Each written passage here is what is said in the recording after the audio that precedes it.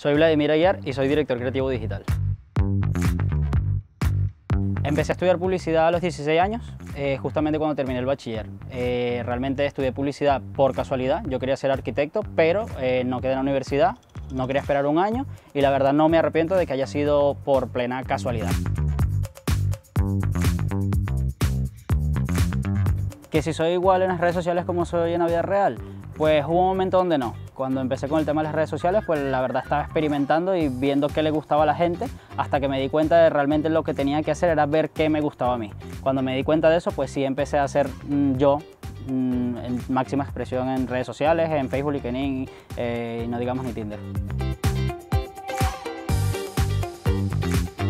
Mi top 5 en las redes sociales, pues en este orden y no lo cambiaría.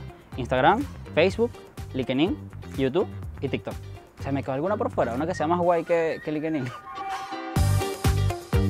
Hay que quitarse de la cabeza eh, ese mito de que si no estás en redes sociales no existe. Hay muchísima gente alrededor del mundo haciendo dinero y ni siquiera tiene WhatsApp. Si es verdad que las redes sociales son unas plataformas que te ayudan a tener mucha más visibilidad, mucha más audiencia y tener una posibilidad de internacionalización desde un punto en específico.